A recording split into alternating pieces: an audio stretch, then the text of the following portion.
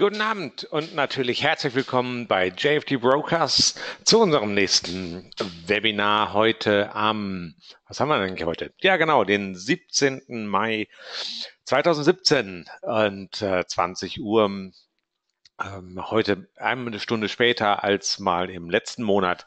Na, wer redet? Mein Name Stefan Friedrichowski auf diesem Sendekanal hier ähm, bei JFD Brokers, die für uns alle eine solche schöne Webinar-Reihe oder diese ganzen vielen Webinare ermöglichen. Ähm, wie ihr wisst, haben wir da zahlreiche Angebote ähm, und unterschiedlichste Referenten. Naja, und heute bin ich halt mal wieder zugegen, äh, sowie dann nächste Woche auch nochmal. Und äh, wer, wem es vielleicht sogar lieber ist, aus welchen Gründen auch immer, die Webinare gibt's wie immer in Englisch ähm, und in Deutsch. Also heute ist Deutsch dran, morgen dann Englisch und nächste Woche äh, ist es dann mit dem nächsten Webinar soweit. Ja, also wir haben wieder ein spannendes Thema für, vor uns, nämlich heute geht es um Trendfolgestrategien und ich hoffe auch, dass hier ist mal so prinzipiell hier alles ähm, technisch äh, funktioniert. Also zumindest habe ich hier erste Rückmeldungen in dem Chat, dass es so sein soll. Ähm, ja, ein paar Vorbemerkungen jetzt doch nochmal eben schnell, äh, bevor ich wirklich auf die Trendfolgestrategien eingehe. Ich habe wie immer die äh, Folien, die Slides, die ich hier auch präsentiere, die sind auch schon wieder zum Download bereit. Das heißt, ihr könnt die jederzeit hier runterladen äh, aus dem hm, GoToWebinar äh, Control Panel. Ähm, und natürlich, wie ihr seht, es gibt hier schon gleich auf der ersten Folie auch nochmal meine E-Mail-Adresse. Gerne könnt ihr mich da auch direkt kontaktieren, fragen, was auch immer ansteht, äh, einfach auf mich zukommen oder auch halt einfach an den Support von äh, JFD jederzeit und natürlich immer wieder gerne. Ansonsten, auch im Nachgang, ähm, die Aufzeichnung landet immer morgen dann auch auf dem YouTube-Kanal von JFD und da gibt es ja ohnehin dann wirklich schon mittlerweile zahlreiche und wirklich inhaltlich hochwertige äh, Dinge und so wollen wir natürlich heute auch weitermachen. Trendfolgestrategien. Ja, wer kennt sie nicht? Wer kennt nicht unsere Trends und ähm, dem einen sind sie Freund, dem anderen vielleicht sogar Feind. Der, der auf die große Umkehr wartet und immer wieder wartet, dem sind sie dann vielleicht dann doch irgendwann eher Feind. Aber wir sollten uns das Ganze mit den Trendfolgestrategien genauer anschauen. Und ich will auch zwei Grundideen vorstellen, wie man hier sehr, sehr gut zurechtkommen kann und das dann auch äh, durchaus sehr erfolgreich. Ähm, naja, einmal wie ihr wisst, ähm, muss ich natürlich mal kurz wieder diese Folie zeigen. Also wir reden wie immer hier über Strategien und schließlich und endlich gilt natürlich wie immer der Satz, wenn ihr in eurem Konto handelt, tut ihr das natürlich auf äh, eigenes äh, Gelangen hin und äh, niemandem anders. Also von daher soll auch dieser Risk Disclaimer ähm, hier natürlich einmal gezeigt werden. Ich kriege gerade schon zugereicht ähm, Trends, na, die sind doch voll im Trend. Genau dem wollen wir uns natürlich heute hier anschließen. Bevor wir aber jetzt endgültig hier ins Thema einsteigen, will ich nochmal kurz, weil wir hatten jetzt schon zwei Webinarthemen in der Vergangenheit, nämlich einmal Pair Trading, Rent, WTI und die Sachen findet ihr auch auf dem YouTube-Kanal. Ähm, ist vielleicht mal Zeit, kurz auf die Strategien, die ich denn gezeigt habe, auch hier mal ähm, ein bisschen live zu zeigen. Also die andere war dann äh, die DAX äh, Seasonal Daily Strategie. Beide Strategien ähm, werden auch gehandelt, nicht hier, sondern da müssen wir noch mal kurz ein bisschen hier switchen. Und da haben wir zum einen ähm, auch mal den ähm, Pair Trade Brent WTI. Da stehen wir im Moment gerade mit 64 Euro im Plus. Kein Trade läuft. Äh, alles zufriedenstellend läuft, wie es sein soll. Äh, also leichtes Plus. Wir haben jetzt hier ähm, drei Wochen oder so mit der Strategie bisher verbracht. Sind einige Trades gelaufen. Und wie es immer so ist bei, äh, bei solchen Ansätzen, äh, oder eigentlich wie bei allen Ansätzen, es wäre schön, wenn man einen Ansatz hätte, der einfach nur einen Gewinntrade nach dem anderen abfeuert. Aber wir wissen alle, das ist völlig äh, irrsinnig und kann und wird nie so sein. Von daher erstmal prinzipiell im Rahmen, ähm, kann man sich überhaupt nicht beschweren. Und dann gibt's natürlich auch noch äh, den DAX Seasonal, den habe ich in zwei Varianten. Ich halt hand, äh, handle die im Moment sozusagen noch ähm, einfach munter weiter, äh, nämlich einmal die Variante, die auf dem echten Future, also was heißt dem echten, also auf dem äh, CFD, auf dem Future angeboten wird, mit der Begrenzung, dass wir als Volumen natürlich immer nur einen ganzen Kontrakt handeln können. Ähm, da sind wir im Moment hier mit 373 Euro vorne. Ähm, heute natürlich wieder ein genialer Trade, kann man ja nicht anders sagen. Also ein Short Trade äh, heute, der dann entsprechend äh, gut anläuft und dann um 22 Uhr auch noch beendet wird. Da sollte jetzt nicht mehr so viel anbrennen. Und schließlich wird die Strategie dann auch mal noch umgesetzt werden in einem ganz, äh, also so wie ich es mir auch eigentlich vorstelle, dann einfach auf dem Cash, wo wir auch kleinere Stücklungen machen können. Ähm, das Konto läuft jetzt äh, erst seit ähm, na, ein bisschen mehr als einer Woche. Ähm, läuft auch gut an, steht jetzt mit 29 Euro im Plus. Äh, da können wir dann auch kleinere Lot Sizes handeln, also die Komma 1 Varianten.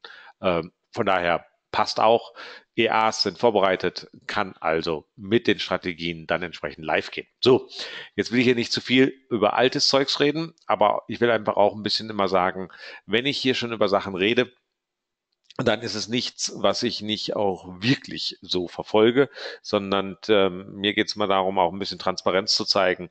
Ähm, das ist halt das, wofür auch JFD steht, wofür ich stehe und äh, von daher darf man da durchaus mal auch einen Blick wieder in die echten Konten werfen.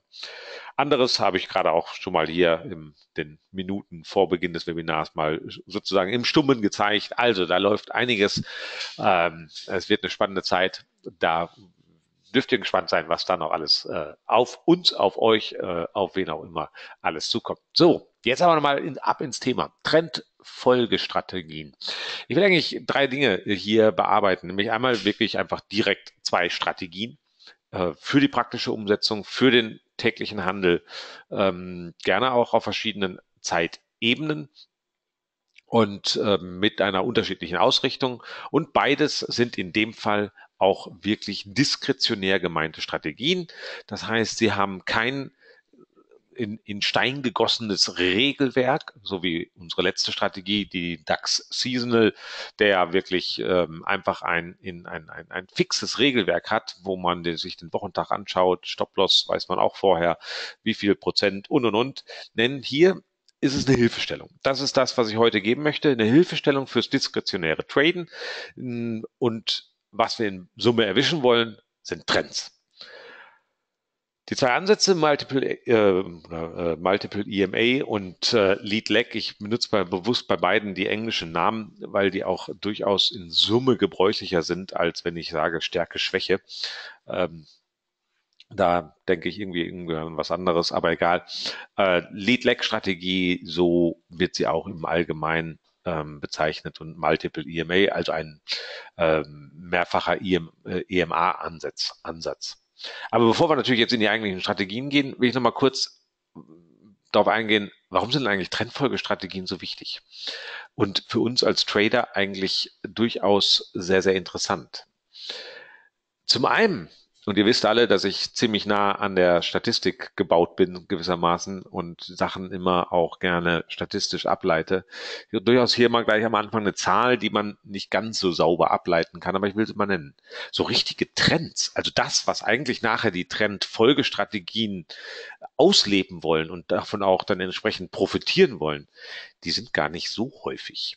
Also man kann so grob sagen, nur ein Drittel der Zeit äh, haben wir eigentlich wirklich saubere Trendphasen im Markt. Was haben wir ansonsten?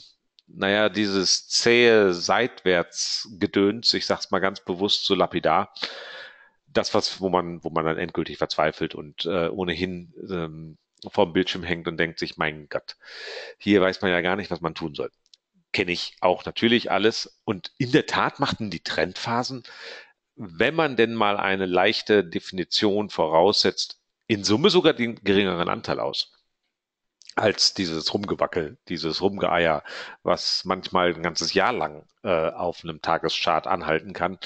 Ähm, das ist also trotzdem nur 30 Prozent der Zeit. Und trotzdem stehe ich hier, oder genau genommen ich sitze, und sage, nein, Trendstrategien ist das, was wir brauchen und auch sehr, sehr gut verwenden können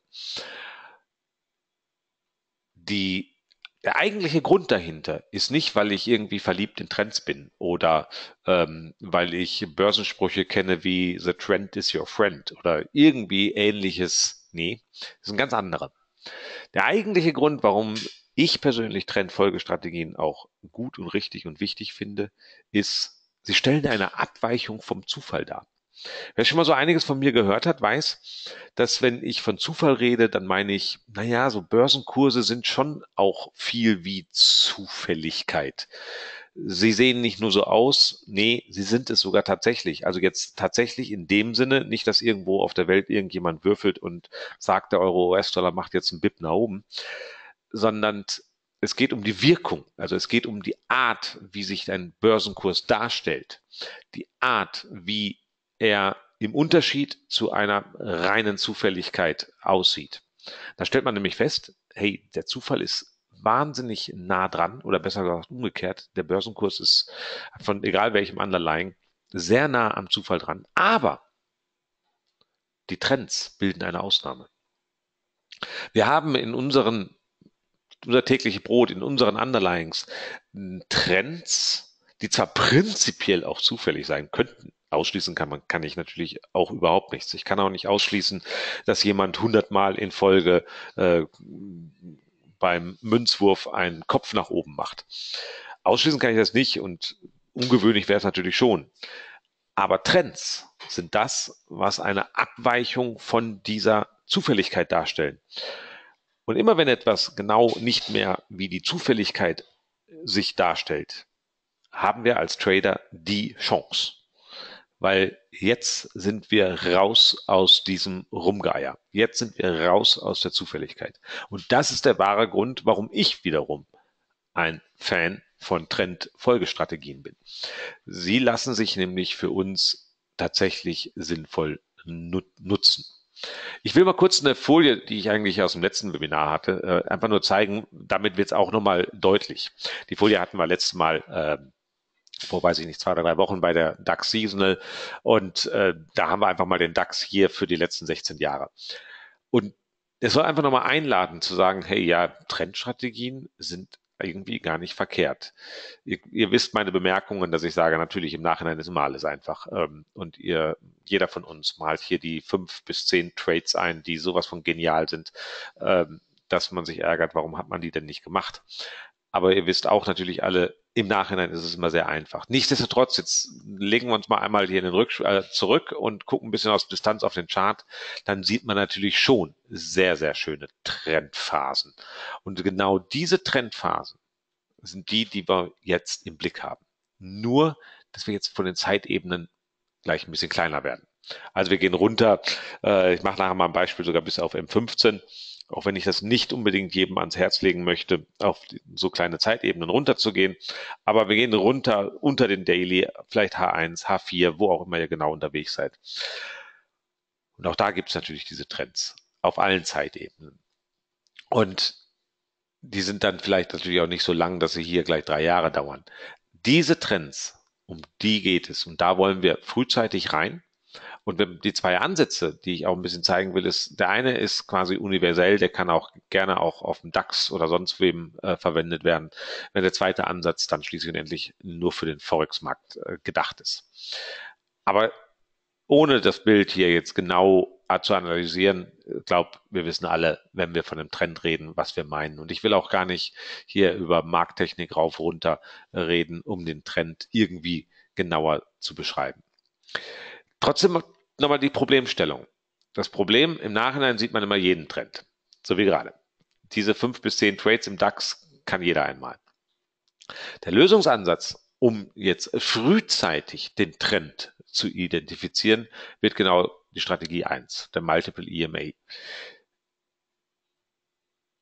Dass wir frühzeitig reinkommen, liegt daran, dass wir auch ein bestimmtes Risiko eingehen. Da will ich gleich noch mal ein bisschen mehr drauf, äh, drauf eingehen. Also es geht darum, den Trend früh zu erwischen als erstes. Im zweiten geht es um die Frage, hey, wir handeln ja alle, also ich persönlich zumindest, sehr, sehr gerne auch Forex, rauf und runter. Wir haben Währungspaare, ähm, da ist die Auswahl, das Universum sozusagen fast unendlich groß, ist es natürlich nicht, aber wir haben wirklich viel, viel Auswahl. Das Problem ist, da verliert man schon fast die Übersicht. Wir haben Währungspaare, die wir handeln können, die sich auch gut handeln lassen. Ich will gar nicht auf die totalen Exoten. Also ich will jetzt nachher nicht auf schwedische Kronen gegen türkische Lira oder irgendwie sowas. Ähm, sondern da geht es um die Frage, wie können wir die Selektion eigentlich professionalisieren und vor allen Dingen standardisieren, dass wir wirklich schnell wissen, hey, welches Währungspaar lohnt sich denn hier? Ist es denn jetzt gerade der Euro-US-Dollar oder ist es US-Dollar gegen japanischer Yen? Und um das wirklich zu identifizieren und rauszufiltern, gibt es einen schönen Lösungsansatz. Da sollte ich allerdings nicht den gleichen äh, Titel wählen, sondern natürlich ist das dann die Strategie 2. Äh, ähm, das gehen wir natürlich auch an. Was beiden gemeinsam ist, das ist mir ganz wichtig, das hier schon mal im Vorfeld zu sagen, wenn wir über die CRVs reden. Wenn wir Trendstrategien traden, dann kann ich euch im Vorhinein sagen, mit kleinen CRVs wird man nicht glücklich. Das heißt, schon im Vorhinein kann ich direkt sagen, egal um welche Trendstrategie es geht, wir brauchen in der Regel CRVs von mindestens 3 zu 1. Ähm, das heißt, der potenzielle Gewinn soll dreimal höher sein als der potenzielle Verlust. Damit kann man schon gleich ableiten, hey, das heißt ja im Umkehrschluss, die Trefferquote ist irgendwie nachher nicht der Brüller. Also um es mal mathematisch zu sagen, die Trefferquote muss äh, 25 Prozent sein, wenn wir mal alle Kosten beiseite lassen. 25 Prozent sein, damit wir bei Break-Even sind. Das heißt, dass wir äh, weder gewinnen noch verlieren. Wenn ich mit einer CRV von 3 zu 1 reingehe. 25 Prozent denkt immer jeder, ja, die schaffe ich ja locker. Nee, nee, ist eben nicht so. Ähm, ganz so einfach ist es nicht und erst recht nicht, wenn ich auf dieses CRV schiele.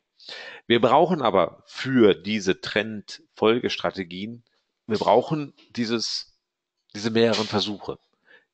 Da sind wir weit weg davon, dass wir die Trades alle schön systematisch in den Gewinn traden. Nee, wir brauchen Versuche. Wir brauchen einen Stop-Loss, der sicherlich nicht zu eng ist, aber ähm, im Vergleich mit dem Ziel dann doch eher eng ist. Wir wollen ja nachher den Trend mitnehmen. Also wir wollen einen größeren. Wir zielen auf hier auf größere Gewinne. Und das geht nur, wenn wir einen CRV in dieser Größenordnung oder sogar noch größer haben. Heißt aber, ich wiederhole es ganz bewusst, unsere Trefferquote wird nicht riesig sein. Um Gottes Willen, schaffen wir nicht. Und das ist schon, wenn man an das, äh, an die Psychologie des Traden geht, schon gleich schon wieder die erste Herausforderung. Wir gehen Trades ein, von denen die Mehrzahl im Verlust landet. Aber wir wollen natürlich auch die Trades haben, wo wir dann den dreifachen Gewinn einfahren. Und ähm, das sind dann die Trades, die uns in Summe hier nach oben bringen.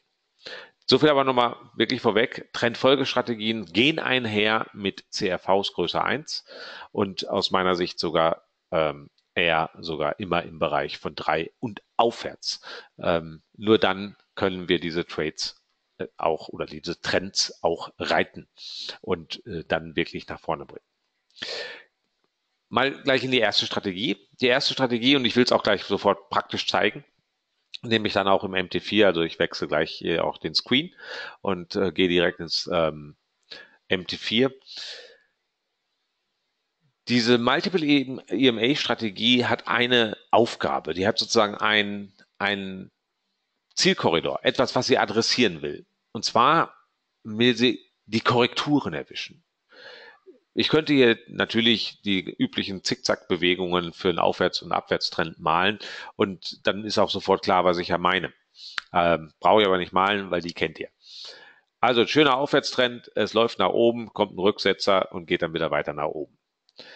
Ideal im Einstieg sind natürlich diese Rückläufer. Das heißt, einerseits haben wir jetzt schon den Vorteil, wir wissen, wir sind in einem Trend, beispielsweise in einem Aufwärtstrend.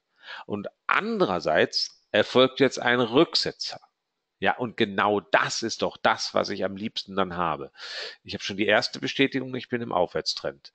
Und jetzt kommt der Rückläufer, das heißt, ich komme günstiger rein, als einfach nur auf den Zug aufzuspringen. Theoretisch kann man ja auch einfach sagen, okay, ich lege einen EMA rein und warte auf Kreuzen des EMAs oder ich handle die Steigung des EMAs oder irgendwie sowas ähnliches. Nee, hier geht es darum, ich möchte die Korrektur sehen. Und die Korrektur als Einstieg nutzen. Und dadurch habe ich dann den günstigeren Einstieg. Ich zeige es auch gleich nochmal im Chart, weil wir haben Beispiele ohne Ende, äh, wo man das äh, super deutlich illustrieren kann. Das Hilfsmittel, um diese Korrektur zu visualisieren, und nichts anderes ist es, sind jetzt einfach gleich diese vier verschiedenen EMAs mit der unterschiedlichen Periode, ähm, die genau so gewählt sind, wie er es schon erahnt. Es ist einfach immer verdoppelt. 20, 40, 80, 160. Und was ich dann erzielen möchte, ist ganz einfach. Die EMAs sollen sich einschnüren. Wird gleich deutlich, sobald ich den Chart zeige. Die EMAs sollen zusammenlaufen und wenn das passiert, habe ich eine Korrektur. Und das ist mein Ausgangspunkt. Und den will ich dann traden. Stellt sich noch die Richtung des Trades. Ist nicht immer ganz so einfach, deswegen gebe ich hier mal eine Hilfestellung und diese heißt einfach in die Richtung des langsamsten EMAs. Stop-Loss ziehen wir uns aus dem Chart machen wir uns mal direkt vertraut damit, indem wir uns das mal an einem praktischen Beispiel angucken. Nicht erschrecken, wenn ich jetzt auf meinen MT4 wechsle. Ihr seht wahnsinnig viele Charts. Ähm, will ich aber ein bisschen auflösen. Das heißt, ich mache mal einen groß. Ähm, damit wir nicht gleich hier auf äh, äh, so viel hier gleichzeitig gucken. Ähm, da, da, kommt ja dann kein Mensch mehr mit klar. Ich lasse das mal bewusst äh, hier so ähm, halb ähm, zunächst noch, oh, kriege ich eine Zoom-Stufe mehr. Ja, so geht's auch. Äh, dann habt ihr wahrscheinlich auch noch, wie bei mir, das Control-Panel daneben und den Chart immer noch schön sichtbar. Worüber wir eigentlich reden, kommen wir gleich nochmal zu. Aber wir haben hier sozusagen das Musterbeispiel für die Multiple EMA Strategie. Natürlich muss man immer, ähm, nehmt das auch mal als kritische Bemerkung mit, natürlich immer ein Vortragender wählt sich ein Beispiel, was gerade so schön ist. Logisch, soll ja auch funktionieren, was er zeigt. Insofern immer auch gerne kritisch hinterfragen. Ich zeige aber nachher auch Beispiele, wo mal ein paar Fehltrades rausgekommen wäre. Hier erkennt man nur so herrlich die Logik. Wir haben einen Aufwärtstrend. Klar. Wir haben die vier verschiedenen EMAs ähm, hier im Chart eingemalt und ich male die dann auch nochmal verschieden dick, ähm, damit ich so ein bisschen besser die Zuordnung immer ad hoc habe, äh, welcher zu wem gehört. Naja, wenn ich jetzt an diesem Beispiel über Einschnürung rede, brauche ich wahrscheinlich nicht mehr lange hm, definieren. Natürlich sieht man diese Einschnürungen hier lupenrein da. Also wirklich mustergültige Einschnürungen. Und was zeichnen diese Einschnürungen aus? Also natürlich, jetzt erstmal wieder ein bisschen mathematisch, ähm, dass die vier EMAs zusammenlaufen. Das heißt, die kommen gegenseitig näher. Aber jetzt gucken wir das mal wieder ein bisschen auch aus dieser mehr markttechnischen Brille an. Na, da sind doch genau die Korrekturen. Hier würde doch jeder, der sonst halt Linien in den Chart malt, halt so eine schöne Zickzackbewegung reinmalen.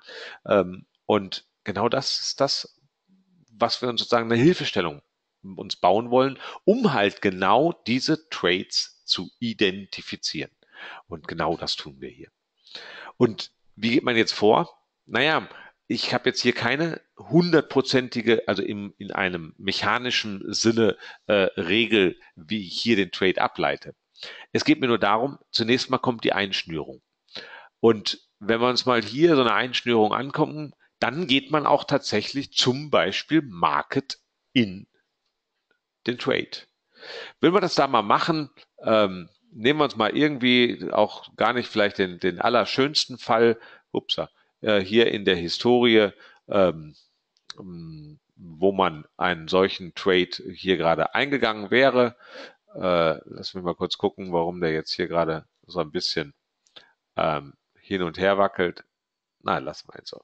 So, da haben wir immer noch äh, den, den Trade.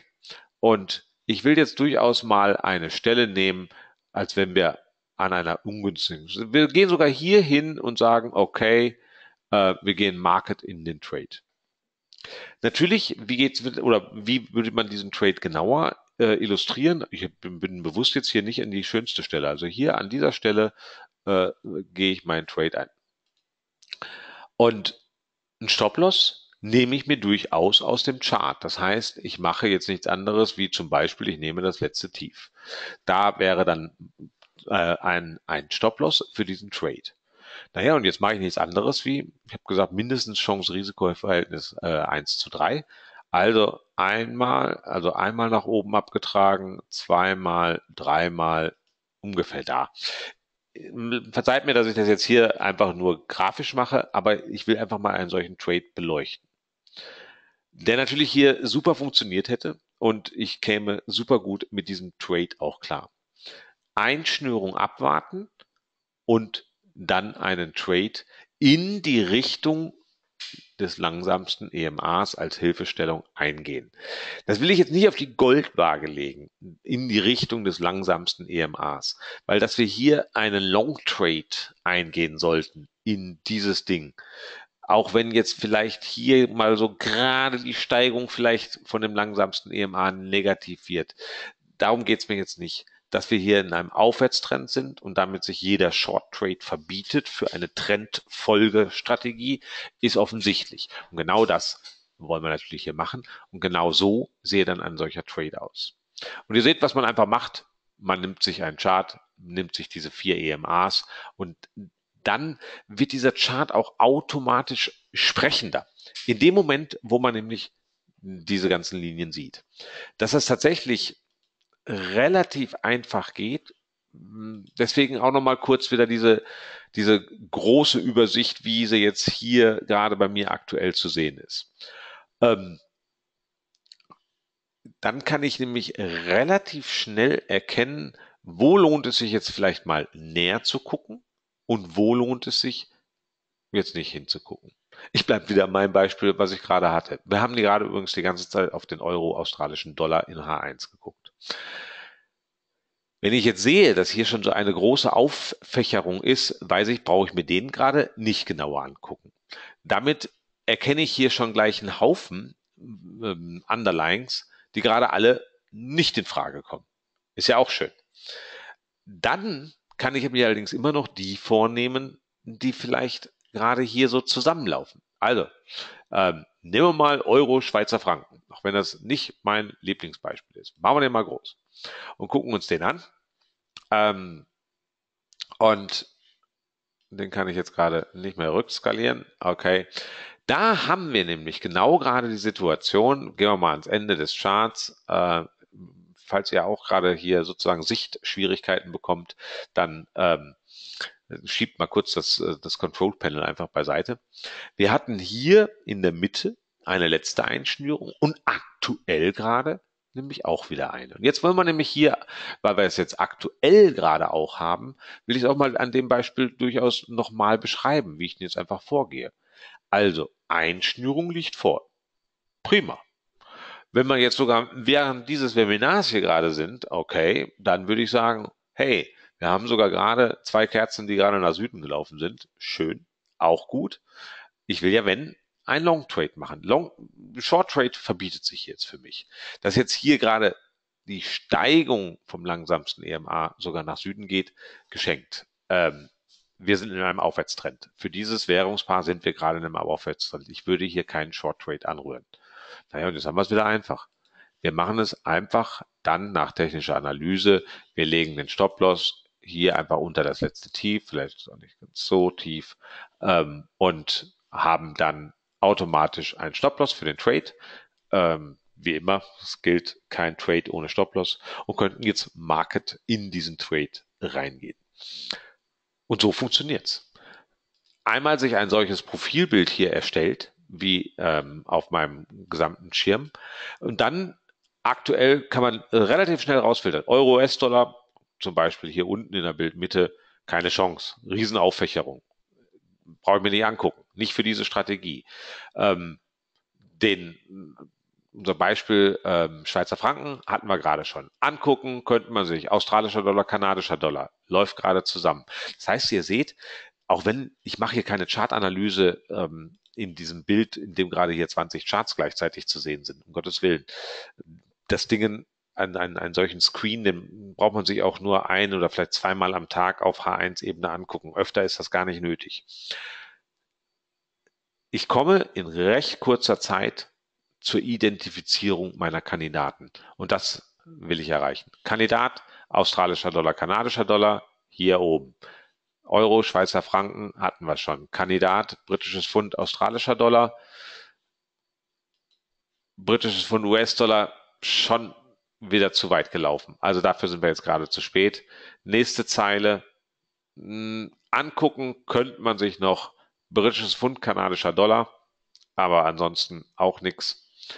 Dann nächste Zeile, alle schon wieder auseinandergefächert. Letzte Zeile bleibt nur ein interessanter Kandidat, australischer Dollar, US-Dollar. Und damit sind wir dann durch. Das heißt, ihr habt eine ganz einfache und recht schnelle Methode der Filterung, ähm, die Trends zu erkennen, genau genommen sogar die Einschnürung des Trends, also die Korrektur im Trend. Und das sind die besten Einstiege, weil sie dann früh erfolgen. Das ist also schon mal grundsätzlich die eine ähm, Methode. Ich möchte gerne empfehlen, hier nicht weiter runter zu gehen in den Zeitskalen. Ähm, bleibt lieber H1 aufwärts ähm, und nicht H1 abwärts. Mein Beispiel Euro, Schweizer Franken. Ähm, ähm, ich lese mal gerade vor, weil hier gerade auch ein Kommentar zu, kommt. Aber ist der Schweizer Franken oder der japanische Yen nicht auch eine Fluchtwährung? Ich meine, Aktienindizes sind überhitzt. Also wenn die runtergehen, würde ja zum Beispiel der Schweizer Franken steigen. Sollte man das nicht berücksichtigen? Ähm, also gerne und auf jeden Fall spricht überhaupt nichts gegen. Das hängt jetzt ein bisschen, das will ich auch ganz bewusst so sagen, auch von dem grundsätzlichen Trading-Stil ab. Was meine ich damit? Äh, machen wir ruhig einen kurzen Exkurs dazu. Ich bin jemand, der auf die Querverknüpfungen nicht ganz so viel Wert legt. Das heißt nicht, dass ich im diskretionären Traden nicht da auch Wert drauf lege. Das heißt, auch ich frage mich genau solche Fragen wie Fluchtwährung. Ähm, ich würde es ein bisschen anders hier beschreiben. Also die, den einen äh, Satz, den gehe ich mit. Ähm, Schweizer Franken, Fluchtwährung, gerne. Japanischer Yen würde ich nicht als Fluchtwährung nehmen, sondern eher im Sinne von den sogenannten Carry Trades, ähm, was dann auch wieder durchaus sehr äh, interessant ist. Ähm, auch ein Kommentar noch zu dem, zum dritten Teilaspekt der Aussage, nämlich sind die Aktienindizes nicht überhitzt?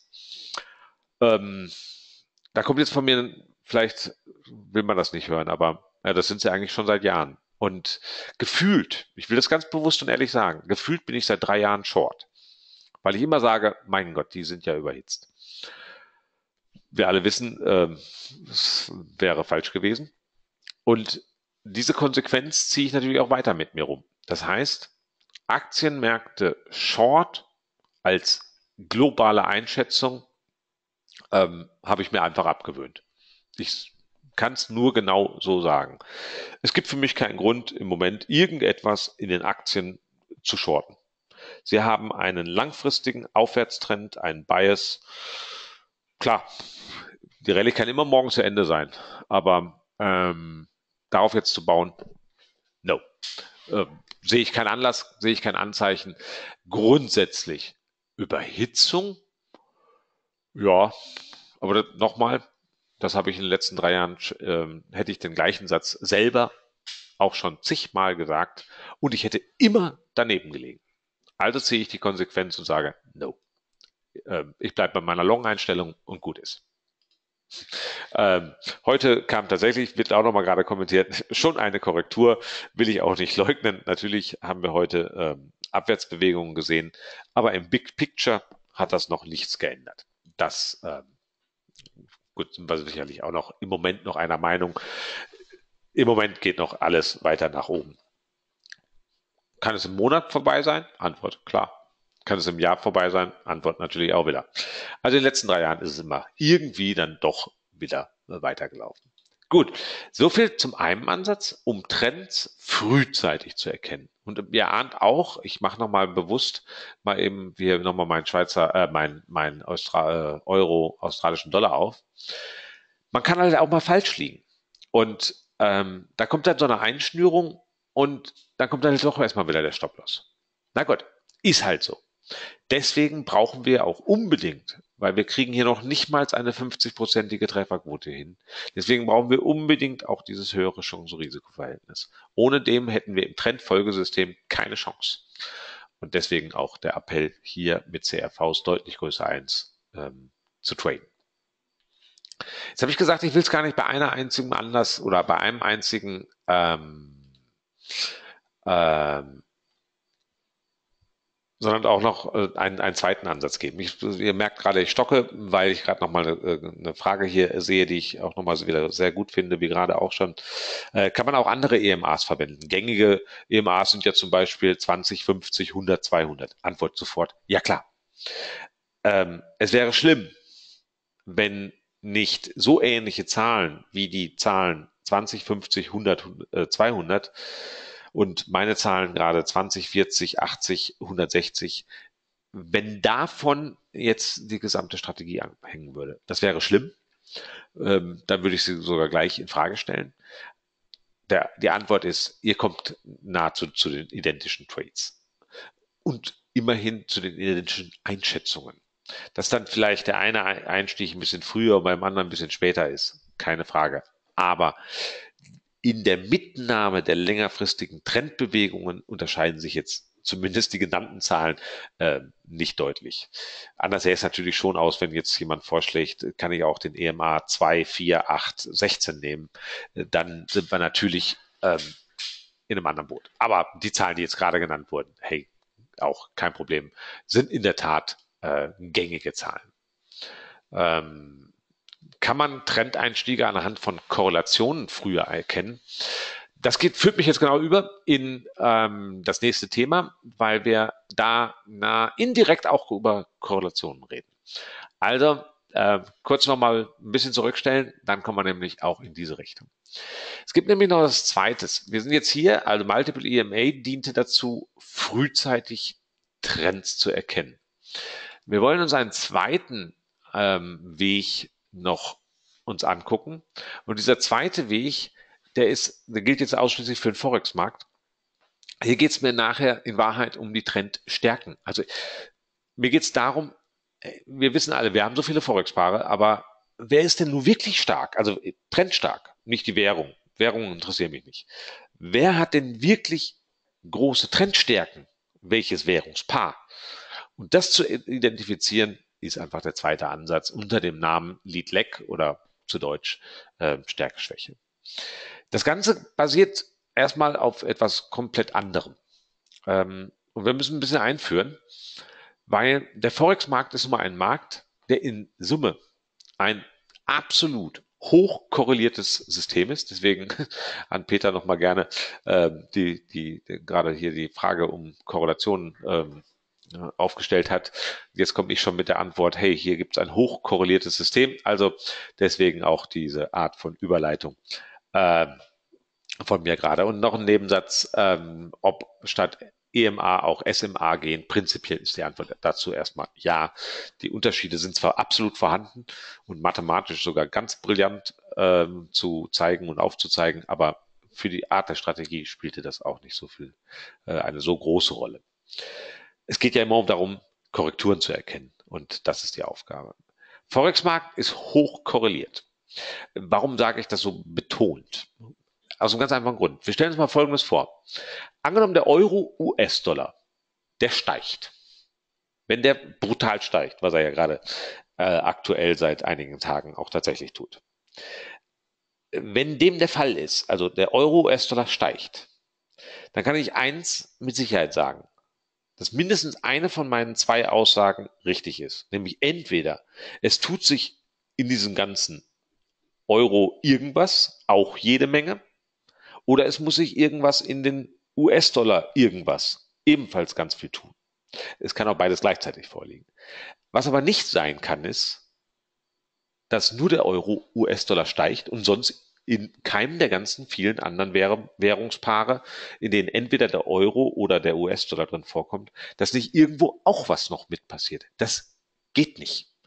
Das wird mal so gerne übersehen und überschätzt oder unterschätzt. Ähm, ein Währungspaar ist kein Einzeluniversum. Also der DAX kann gerne alleine steigen. Da muss der S&P nicht auch steigen und der äh, welche als andere ähm, äh, Aktienindex.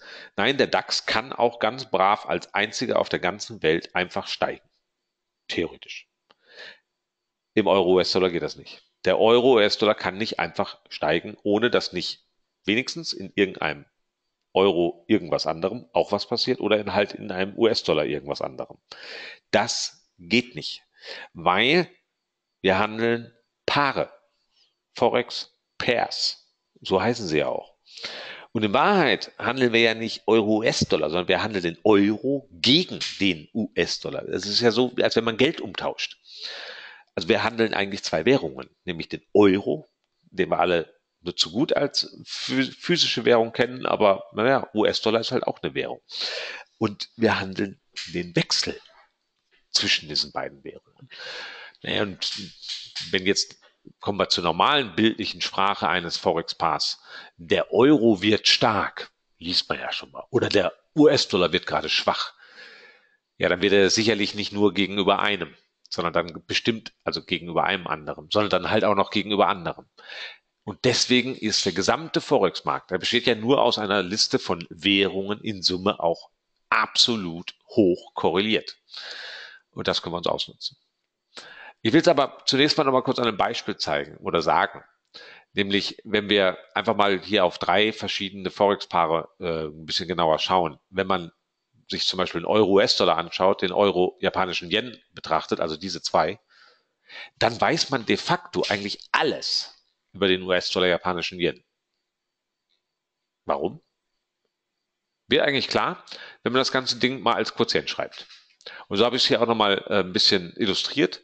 Nämlich, wenn man mal einfach statt Euro japanischer Yen Euro dividiert durch japanischer Yen schreibt und dividiert das Ganze jetzt durch den Euro dividiert durch den US-Dollar und sich jetzt an, an früheste Schul-Kindzeitzeiten erinnert und sagt, hey, in so doppelten Brüchen, da kann man ja kürzen, dann, das ist in der Tat absolut mathematisch korrekt, was hier gerade passiert. Hier kann man nämlich den Euro rauskürzen und übrig bleibt US-Dollar gegen japanischer Yen.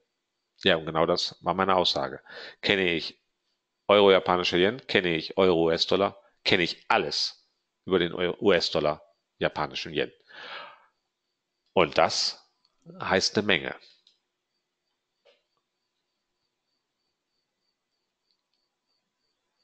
Jetzt wird es gerade noch auf eine ganz andere Währung, deswegen seht ihr mich gerade wieder stocken, weil ich länger nachdenken musste, über welche Währung hier gerade geredet wird.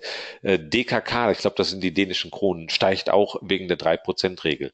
Da muss ich jetzt gerade passen, ähm, was die 3%-Regel ist. Habe ich jetzt nicht am Radar, vielleicht nochmal kurz einen Satz dazu schreiben, ähm, habe ich jetzt zumindest nicht auf dem Radar. Wahrscheinlich gibt es irgendeine eine, ähm, Kursbasierung, ähm, dass der in einer bestimmten äh, Korrelation gehalten werden soll. Äh, vermute ich jetzt mal, dass es äh, dahinter äh, geht.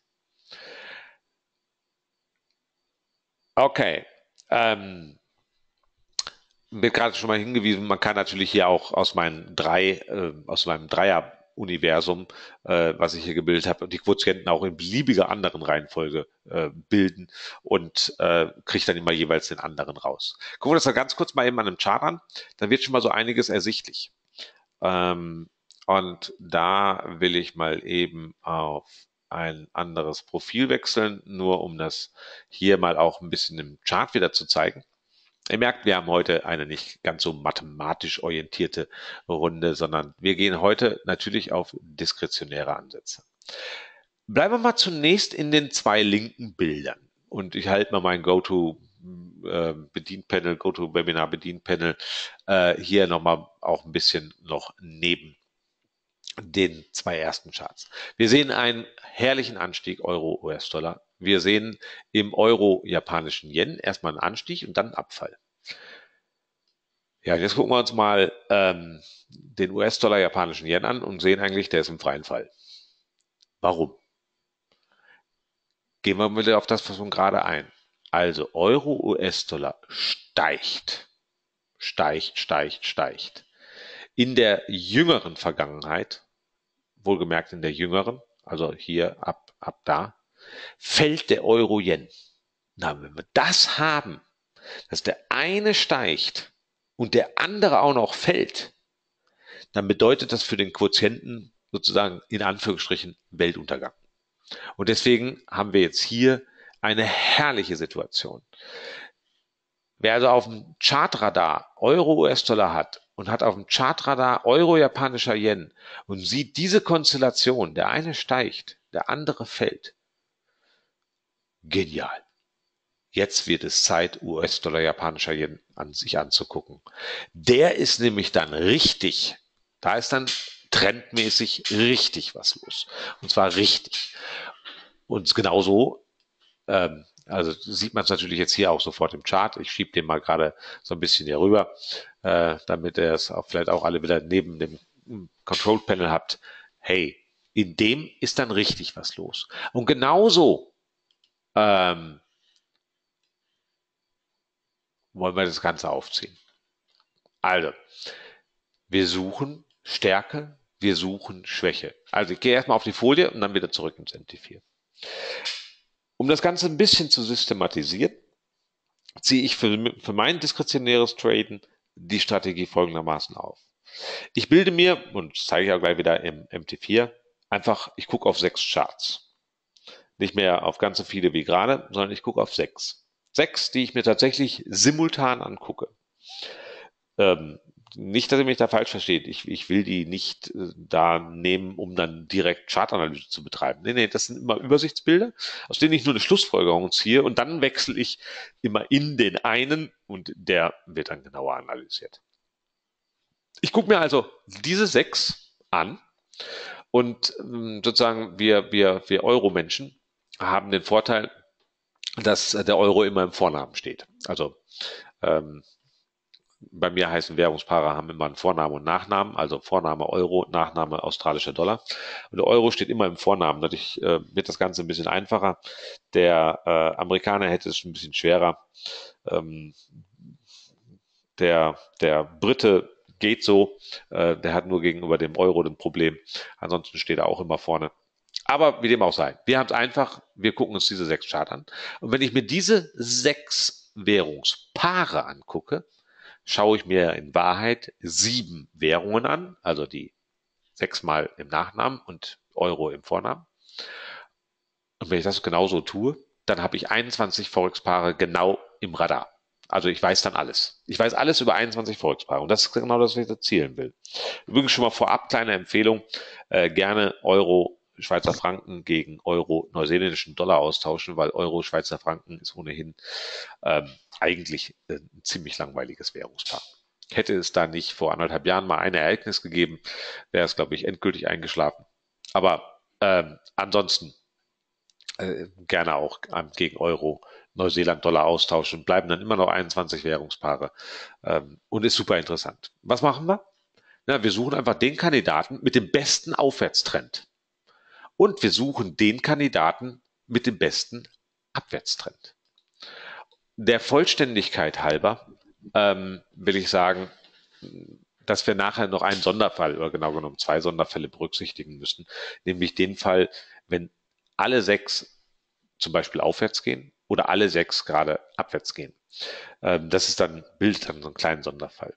Aber tun wir mal eben kurz so, als ob wir einen, wir haben einen mit dem besten Aufwärtstrend von den Sechsen und einen mit dem besten Abwärtstrend von den Sechsen. Was gucken wir uns anschließend genauer an? Na, die Kombination aus genau den beiden. Ich mache es eh gleich an einem Beispiel, dann wird es nochmal deutlich. Vorweg nochmal, ähm, Sonderfall, äh, alle gehen aufwärts, dann bleibt nachher mein Trading-Kandidat, genau der, der am stärksten aufwärts geht, und gehen alle nach Süden, dann ist mein Trading-Kandidat der, der am stärksten abwärts geht. Der Trade selbst wird dann in diesem kombinierten diskretionär abgeleitet. Wir werden sehen, das geht dann wieder genau wie gerade äh, und ist dann Standard Traden. Aber wozu also das Ganze? Na, um den besten Trend überhaupt zu erwischen und in den, der am Trend stärksten ist, auch dann einen Trade äh, zu finden, in den reinzukommen. Das heißt jetzt nicht, dass man dann immer gleich Market reinhüpfen muss, um Gottes Willen, sondern äh, dann einfach, so wie ihr es gewohnt seid, dann einen entsprechenden Trade ableiten. Kleine Hilfestellungen will ich schon mal hier schriftlich auch erwähnt haben. Gerne einfach auch noch ein EMA reinsetzen. Das hilft manchmal, um besser zu erkennen, wer der beste aufwärtstrendige oder abwärtstrendige ist. Oder noch ein kleiner Trick, ähm, man malt so ein Rechteck rein. Das will ich auch gleich nochmal zeigen. Ähm, dieses, diese Rechtecke haben dann einfach eine prozentual gleiche Größe. Klingt immer so wahnsinnig kompliziert. Deswegen wechseln wir lieber in MT4 ähm, und dann wird es auch wieder sofort deutlich. So, wieder ein anderes Profil. Kann ich übrigens nur empfehlen. Profile sind herrlich, weil man muss ja die Charts nicht immer alle neu erfinden, äh, wenn man ohnehin jeden Tag auf das gleiche äh, von neuem schaut. Also gehen wir jetzt hier auf das Profil mit meinen sechs Währungspaaren und ähm, ne, dann nehmen wir nochmal eben hier was raus, was uns nur verwirrt, ähm, weil das brauchen wir nur gerade nicht. So, da haben wir es. So, wir haben unsere sechs Währungspaare, so wie ich es gerade auch ge gezeigt habe. Und jetzt geht es einfach um die Frage, hey, wer geht am steilsten nach oben und wer geht am steilsten nach unten? Jetzt ist es manchmal nicht so ganz einfach. Ähm, ich könnte ja jetzt hier vielleicht Wetten annehmen oder so ähnlich. Äh, wer denn hier am steilsten nach oben oder wer am steilsten nach unten geht, ist manchmal ist es eindeutig, manchmal ist es halt nicht ganz so eindeutig. Also wer geht am steilsten nach unten, sind wir uns, glaube ich, relativ schnell alle einig, hey, Euro, japanischer Yen. In diesem Chart, und ich habe hier jetzt gerade den M15-Chart, geht der am eindeutigsten nach unten. Und äh, wer geht am steilsten nach oben? Naja, ähm, vielleicht Euro US-Dollar, vielleicht Euro kanadischer Dollar. Das tut dann übrigens auch nicht ganz so zur Sache. Ich will nur auf eins noch hinweisen. Ich habe hier deswegen solche Rechtecke eingemalt, die haben alle eins gemeinsam, nämlich sie sind 0,1 Prozent hoch. Warum mache ich sowas komisches? Sie sind alle, also die obere Ecke und die untere Ecke liegen 0,1 Prozent auseinander. Das mache ich aus einem einzigen Grund. Wie ihr seht, sind ja visuell meine kleinen Rechtecke hier unterschiedlich groß. Also das schmalste Rechteck, also das kleinste von der Höhe, ist hier im euro-japanischen Yen. Und wenn ich jetzt die Charts gegeneinander vergleichen will, müsste ich eigentlich erst alle so skalieren, dass alle sich am kleinsten ausrichten. Und ihr seht schon sofort, was hier passiert dann wird langsam mein Euro Schweizer Franken wirklich flach wie eine Flunder. Ähm, und man kriegt ein etwas objektiveres Bild. Also ich mache das tatsächlich jetzt gerade visuell äh, und es wird auch vielleicht nicht genau stimmen, dass die visuell alle gleich groß sind ähm, und dann habe ich es etwas besser möglich zu fragen, wer hat die größte und wer hat die kleinste Steigung. Sonst unterliege ich schon mal gerne, gerade beim Euro Schweizer Franken, immer, hey, sieht gerade aus wie eine Monstersteigung. In Wahrheit ist es aber auch nur so ein kleines Rumgezappel in der Seitwärtsbewegung. Also das nur mal als kleiner Trick, um, ähm, um sowas zu machen und um das einmal ganz kurz zu zeigen, was tue ich in Wahrheit. Ich male zunächst ein Rechteck einfach ein, also zum Beispiel so, äh, klicke es an, gehe dann in die Eigenschaften und habe jetzt hier die obere Kante und hier unten die untere Kante. Und ich nehme dann einfach die obere Kante, nehme mir einen Taschenrechner, multipliziere es beispielsweise jetzt hier für einen 15 Chart mit 0,999 und damit weiß ich, hey, mein Rechteck ist 0,1 Prozent hoch. Und das mache ich halt in allen ähm, sechs, ähm, in allen sechs äh, Charts. So sind sie dann gleich skaliert. An dem, wer Abwärtstrend hat, hat sich nichts geändert. Aufwärtstrend, naja, vielleicht so kleine Nase vorn, Euro, kanadischer Dollar. Naja, und jetzt ist die Story einfach. Wenn Euro, kanadischer Dollar die größte Aufwärtsbewegung hat, Euro, japanischer Yen die größte Abwärtsbewegung hat, wer ist mein Trading-Kandidat, wer hat die größte Trendstärke überhaupt. Das Trend, Trendstärke darf dann gerne auch ein Minuszeichen haben. No, kanadischer Dollar gegen japanischer Yen. That's it. Und wenn wir den haben, den haben wir uns jetzt identifiziert, dann machen wir den als Chart auf. Und den gucken wir uns jetzt an und fragen, hey, wie können wir denn hier einen Trade platzieren?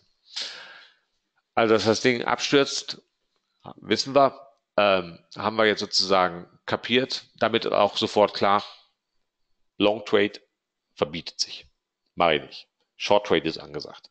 Damit haben wir jetzt auf der M15 Zeitskala, ich habe jetzt bewusst gerade mal eine kleine genommen, geht aber genauso gut dann auch auf anderen Zeitskalen. Weiß ich, der trendstärkste auf M15-Basis ist kanadischer Dollar, japanischer Yen. Und hier gilt es jetzt, meinen Trade zu identifizieren. Da wir aktuell gerade ein bisschen nach oben kommen, könnte man sogar schon bald in Versuchung kommen, Market Short zu gehen. Oder man macht natürlich hier wieder genau ein ähnliches Vorgehen, wie wir es gerade auch schon mal besprochen hatten. Man legt beispielsweise äh, vielleicht hier sich so ein Level hin und sagt, okay, bis dahin soll er nochmal einmal hoch. Ähm, Stop-Loss darf dann auch gerne nochmal ein bisschen höher sein. Das könnt ihr genau nach den üblichen Regeln der Kunst platzieren. Aber was wir jetzt haben, ist, wir haben den Trend auf unserer Seite.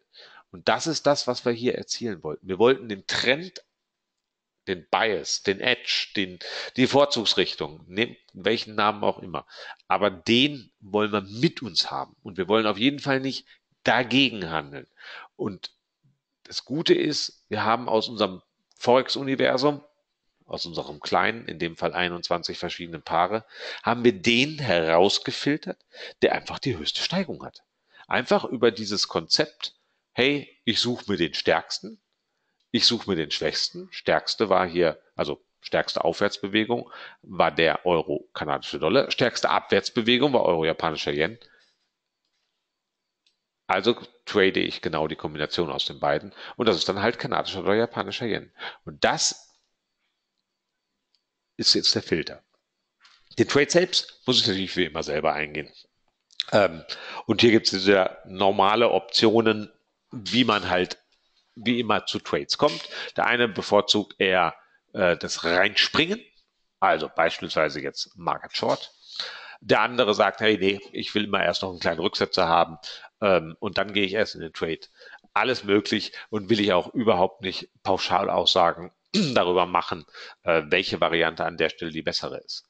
Die eigentliche Aussage ist die, sich auf den Trend zu setzen und den rauszufiltern, weil diesen Wahrscheinlichkeitsvorteil, den haben jetzt all diese Trades gemeinsam. Die Vorzugsrichtung hier geht nach Süden. Ist das Gesetz? Ist das jetzt, dass das Ding wirklich jetzt einfach nur nach Süden gehen kann? Natürlich nicht. Äh, das kann auch jetzt gerade drehen. Das weiß weder ich noch sonst jemand äh, ob der jetzt hier ab genau hier wieder nach oben geht. Das weiß kein Mensch. Ich weiß nur, dass ich den Trend bei meinem Vorgehen auf meiner Seite habe. Und diesen Wahrscheinlichkeitsvorteil, den will ich für den Trade hm, verwenden. Und das ist genau das Element, was mir hier wirklich einen, einen schon nicht unerheblichen Vorteil verschafft. Und so komme ich halt in den Trend und dann in der Selektion auf denjenigen, der auch die allerhöchste Trendstärke schlechthin aufweist. Ja, das war's schon. Das war die Sache rund um die Trendfolgestrategien. Einfach, um nochmal A, auch ein bisschen darüber zu verlieren, warum überhaupt Trendfolge. Und erinnert euch daran, die starken Trends sind genau eine Abweichung vom Zufall. Und das ist immer ein Element, was wir zum Traden grundsätzlich bevorzugen sollten immer diese Abweichung vom Zufall. Wir haben jetzt hier zwei, zwei ähm, Beispiele kennengelernt, wie wir den Trend identifizieren und dann traden können. Nämlich einmal als frühen Einstieg. Das, ähm, da ist dann die Multiple EMA-Strategie sehr geeignet und auf dieses Zusammenschnüren von EMAs ähm, zu warten. Oder wir identifizieren einfach aus unserem Forex-Universum den Trendstärksten überhaupt das kann man dann übrigens auch auf verschiedenen Zeitebenen machen. Und gehen dann in dem Identifizierten unseren Trade ein. Und so wird ein Schuh draus. Und wir haben zwei Varianten von Trendfolgestrategien ähm, in unserem Portfolio. Wer nochmal im Nachgang Fragen hat, ähm, die Slides dann hier vergessen hat runterzuladen, wie auch immer, kein Problem. Ich weiß, mein Nachname ist nicht der einfachste, redet mich deswegen auf jeden Fall gerne und sofort mit Stefan an. Ähm, wie mein Nachname geschrieben wird, steht hier jetzt gerade nochmal. Friedrichowski ist ziemlich einzigartig oder relativ oder fast. Ähm, Ihr erwischt mich direkt unter diese E-Mail-Adresse, natürlich jederzeit. Ich helfe euch da gerne weiter. Ähm, morgen Vormittag kommt dann auch die Aufzeichnung hier gleich wieder online auf den YouTube-Channel, äh, direkt auch bei JFD natürlich. Und so soll es für heute Abend soweit gewesen sein. Ich hoffe, ich konnte euch wieder ein paar Einblicke geben. Ähm, in auch meiner Denkweise und dem Blick auf die Märkte und auf das Traden im Allgemeinen und hoffe euch einfach wieder bei einem nächsten, bei einer nächsten Gelegenheit dabei zu haben. Aber schaut auch mal gerne rein. Die äh, weiteren Kollegen sind tolle Sachen dabei. Letzte Woche habe ich einiges mal live mitgekriegt. Ähm, da war die Gelegenheit, direkt in Warna zu sein. Haben ein paar Sachen noch extra gemacht. Äh, tolle Kollegen. Also, lohnt sich auf jeden Fall. Schaut mal rein.